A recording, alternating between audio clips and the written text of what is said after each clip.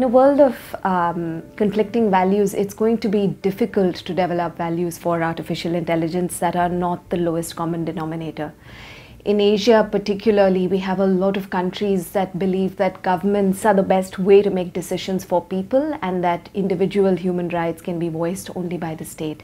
In that context, if we are trying to come up with um, with artificial intelligence that recognizes individual human rights and that looks to empower uh, citizens and users and to create transparency, it's going to be really challenging to come up with an international coordinated regime that does this. People have developed AI that is predictive. People are researching ways to make sure that AI is able to target advertisement at people depending on their preferences, the devices they use, the routes they take.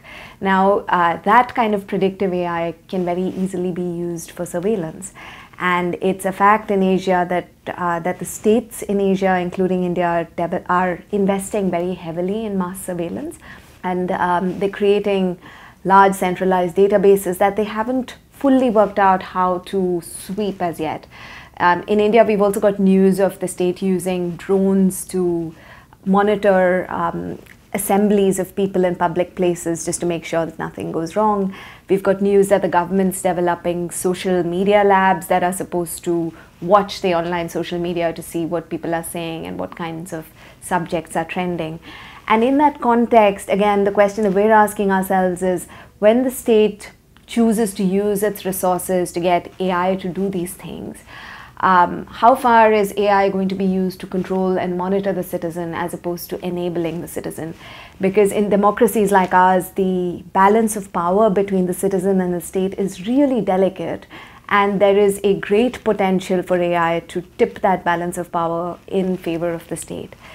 While it's important to make sure that we don't chill innovation, it's also important to be cautious and to make sure that technology doesn't drag us down a dark path.